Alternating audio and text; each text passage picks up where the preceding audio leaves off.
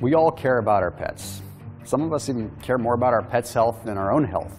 The reality is, we really want to make sure that they live a pain-free life. We want to make sure they live for a long time.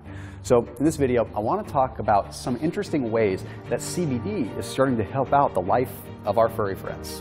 So I want to start off with one particular study. The study was published in July of 2018 in a journal known as the Frontiers of Veterinary Science. Now what this study was looking at was overall the effect of CBD oil versus placebo for pain management. Well, the results ended up being pretty darn interesting. You see, what they found was utilizing what's called the Hudson Activity Score, they found that the dogs that ended up taking CBD ended up having much less overall pain and much more activity, and ultimately more mobility as well. Now, the Hudson Activity Score is just a way that we can gauge uh, basically how a pet is feeling and their pain management based on questions that the owner is presented with. So sure, it's somewhat subjective, but when the responses are as stark as they are with this study, we know it's really working. You see, they saw that 80% of the dogs that were in the study had decreases in pain and increases in mobility. 80%. That is pretty darn astounding. Now here's the best part. No side effects whatsoever.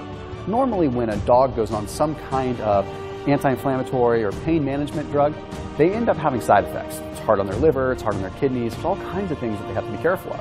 So CBD is seemingly a pretty harmless way to get a good quality of life back. Now, how does this work? Well, the thing is, is dogs have the same CB1 and CB2 receptors in their bodies that we have in ours. And simply put, what that means is that when they take in CBD, their bodies end up producing more of the natural endocannabinoids. So when humans take CBD, we produce more of these naturally occurring endocannabinoids that help us feel better. They elicit bliss, they make us feel calm, but they also affect our inflammatory signals and inflammatory markers within the body, making it so that we have less pain. Same thing happens with dogs.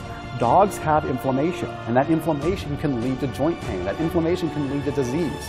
So the cool thing is, is that these endocannabinoids like anandamide that are produced when we have CBD coming in, actually stop some of the production of things like tumor necrosis factor 1 alpha and nuclear factor kappa B.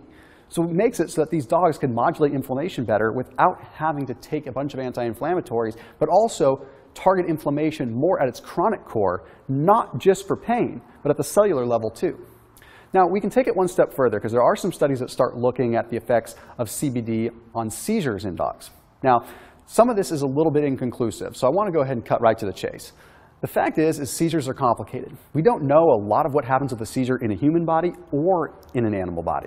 It's just complicated, but what we do know is it's some kind of disruption of the electrical system. And we have concluded that there is some correlation with what is called a voltage-gated sodium channel. Okay, this voltage-gated sodium channels are channels that allow an action potential, like the potential to move, or the potential for energy, or potential for electrical current, from the brain to actually get somewhere. So it's really important. But if we don't have a system that's properly functioning, like with our NAV 1.1 system, which is essentially the sodium gated channel that transfers that energy, that's when we have issues. That's when seizures can occur. Basically, we have random surges of action potential and random surges of energy that should or shouldn't be there at a specific time.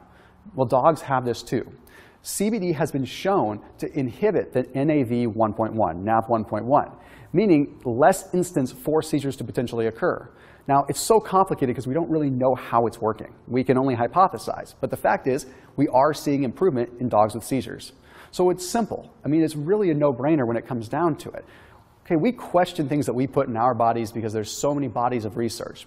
But when it comes down to our animals, a lot of times we just throw it aside. We don't even think about it. But the research is there. The research that shows that dogs and cats can start feeling better if they utilize CBD in an efficient way. And it's a heck of a lot cheaper than being dependent on pharmaceuticals for your poor furry friend all the time. So as always, keep it locked in here with Octagon Biolabs, and I'll see you in the next video.